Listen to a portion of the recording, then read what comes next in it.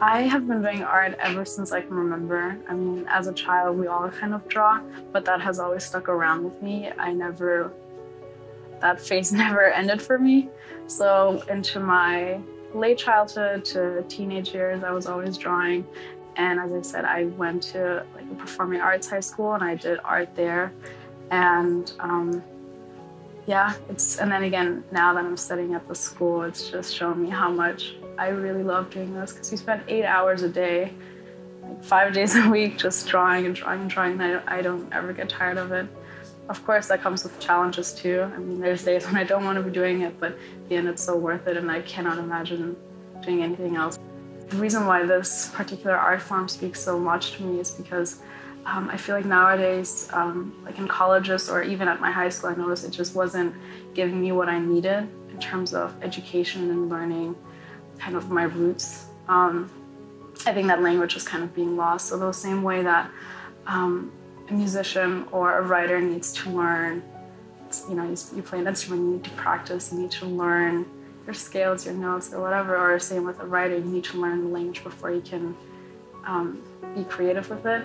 Same with art. I feel like that's not being taught at high school, uh, at schools or colleges anymore.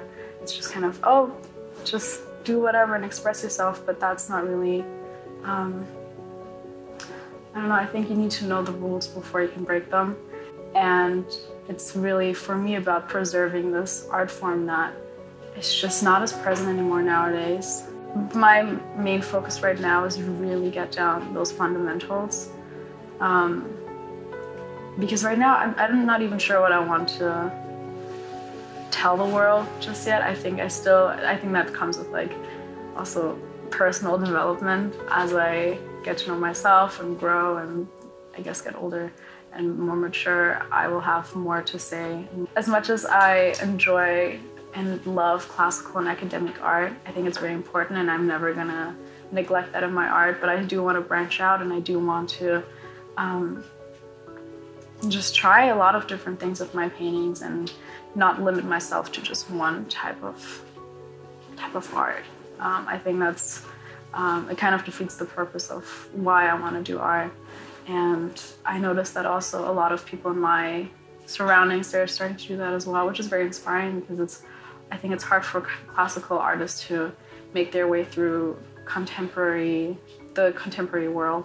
Uh, my name is Lara Saunders, and I'm 19 years old, and I'm a full-time student.